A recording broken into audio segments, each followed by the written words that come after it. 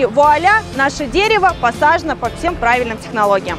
Друзья, сегодня мы в гостях у Анны Чапман. Самое главное, нам сейчас немножечко земли Перемешать? перемешать, да, с вашим плодородным грунтом. Мы вообще только недавно купили эту землю, и вообще мне очень нравится с ней работать. Хочется подойти просто и вот так вот обнять. Я вообще очень давно уже забыла в своей жизни, что такое стресс. Кто, если не я, кто, если не мы. Всем привет! С вами Маша и Катя. Сегодня мы едем к Ане Чапман и будем сажать ель. Подписывайтесь на наш канал, чтобы не пропустить следующее видео. А также пишите в комментариях, кого бы вы хотели видеть у нас в гостях. Поехали!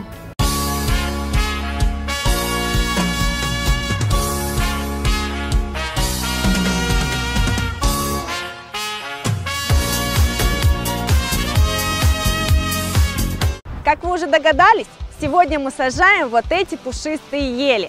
Ели вырастают до 50 метров в высоту, они неприхотливы и просты в уходе. Их очень часто высаживают как живую изгородь, а также они вписываются в любой уже созданный ландшафтный дизайн.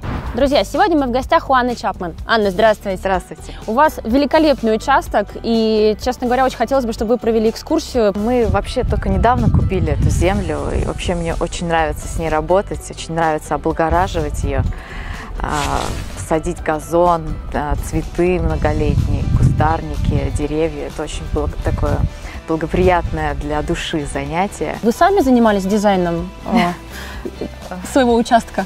Ну, я вообще считаю себя организатором всего процесса. Конечно, есть специалисты, которые непосредственно специализируются там на ландшафтном дизайне, на Мгм. каких-то других направлениях, а я просто всех этих людей, так скажем, в- в- Аккумулируете да, в одном месте. Да, соединяю э, и слежу за выполнением. Вообще участком именно конкретно с землей мы занимаемся только последние три месяца. Вот, а все остальное время я строю дом. Так, мы одну елочку зачали, идем сейчас искать вторую. Вот она. На самом деле мужская работа, но мы девушки создания хрупкие, мы можем чалить, грузить. Единственное, что я не умею делать в этой работе, это, наверное, управлять манипулятором.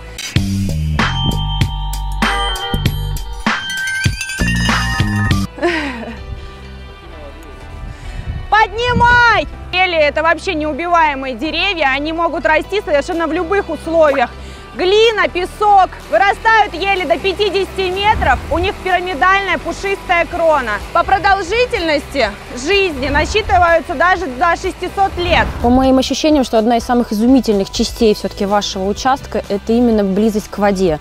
А, озеро было основополагающим, скажем так, для принятия решения в выборе. Конечно, конечно. Очень сложно найти участок на, на воде, а, так, чтобы можно было прям выходить непосредственно к земле, а, потому что есть определенные правила.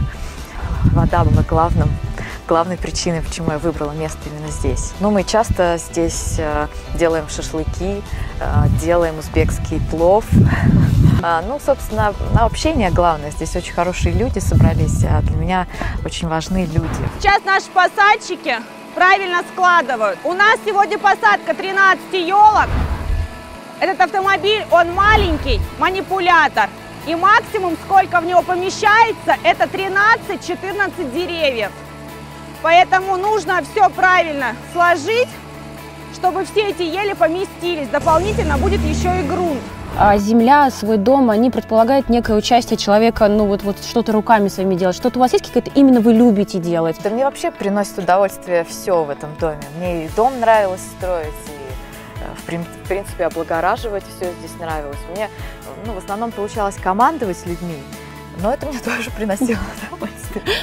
Поэтому ну, мне казалось, что я сама это делаю, потому что я же не буду с лопатой копать землю. Мгм. Но я стою рядом с человеком, кто это делает. Непосредственное участие И принимаете. я, мо- можно сказать, получаю энергетику Мгм. позитивную от того, что ну, было плохо, стало красиво. Вот Как вы заметили, корневая система обращу ваше внимание, находится в мешковине и в сетке. При посадке мы ничего не снимаем. Мешковина у нас перегнивает через два месяца, сетка, как правило, перегнивает через год. Поэтому технология посадки в этом случае у нас становится простой. Ком уже сформирован, нам остается только подготовить посадочную яму и правильно установить этот ком. Засыпать землей и вуаля, наше дерево посажено по всем правильным технологиям. Все, погрузка наша закончена. Мы отправляемся на участок. Сегодня мы будем сажать 13 елей. Вот справляться со стрессом. Дача помогает, все-таки это природа, вода. Я вообще очень давно уже забыла в своей жизни, что такое стресс. Если я не ошибаюсь, вы достаточно много времени прожили в, раз, ну, в разных mm-hmm. странах, в том числе и Европа, и Америка. Mm-hmm. А, есть какие-то отличия владения домом и землей? У нас прям это вот традиция некая. Обязательно у каждой семьи должен быть загородный дом. А вот Европа, Америка, они как-то отличаются? Да, на английском языке даже загородный дом, собственно, иностранцы называют словом дача, mm-hmm. потому что это абсолютно русское понятие. А, вот. Но и в, и в США очень популярно на выходные выезжать за город. Очень популярно. Анна, а смотрите, какую красивую елочку мы вам привезли. Давайте сейчас вместе примем участие для того, чтобы ее посадить. Ребята уже подготовили нам посадочную яму. Мы установили ком. Самое главное нам сейчас немножечко земли Смешать. перемешать да, с вашим плодородным грунтом. Ком мы почти закопали, он немножечко будет торчать, миллиметров на 5, на 10. Почему? Потому что земля весной может дать усадку, и чтобы он вообще у вас глубоко не опустился, корневая шейка не заглубилась, в принципе, мы его на таком уровне оставим. Мы сделаем растяжки, чтобы угу. оно стояло у вас ровное, угу. пока оно 100% не приживется. Хвойники, как правило, приживаются 2-3 года. Анна, расскажите немножечко о себе. Вы стали э, дизайнером собственного бренда одежды. Вот расскажите, пожалуйста, поподробнее, что вас к этому, скажем так, сподвигло и угу. как планируете развиваться в этой сфере? А, ну, во-первых, опять-таки, я не дизайнер, а организатор а, и просто владелец. Угу. А дизайнеры у меня были наняты девчонки, а, разные талантливые люди. Я просто собрала всю команду, так же, как здесь, в участке. У вас это хорошо получается. Похоже.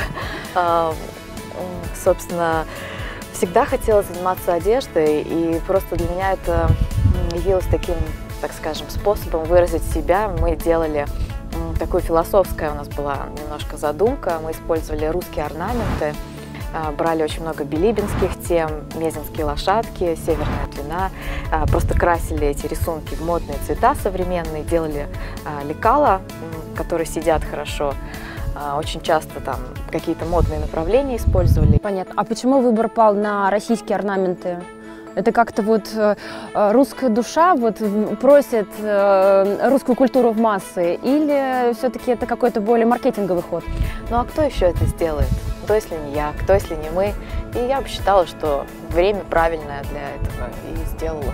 Ну все, елочка посажена. Теперь осталось самое главное интересное, это разрезать а, нашу белую веревочку. Вот здесь разрезаем.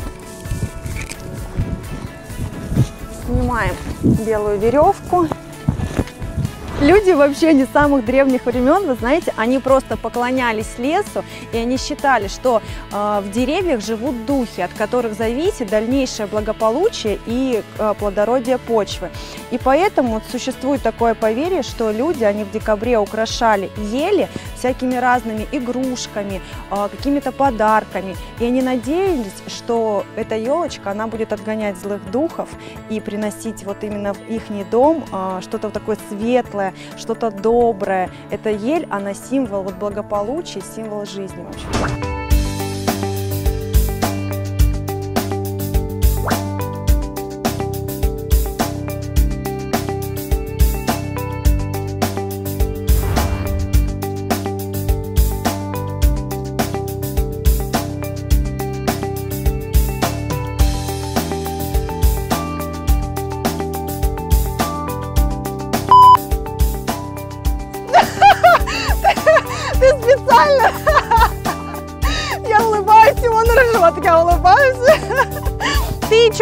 молчишь? Нормально?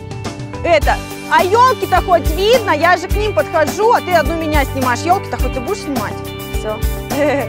Давай, три-четыре. Подожди. И будем сажать ель.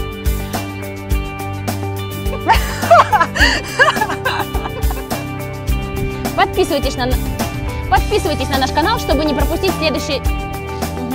Подписывайтесь